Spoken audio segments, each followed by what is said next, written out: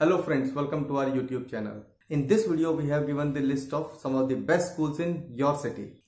Watch this complete video. I am sure after watching this video, you will be able to finalize the school for admission of your kids.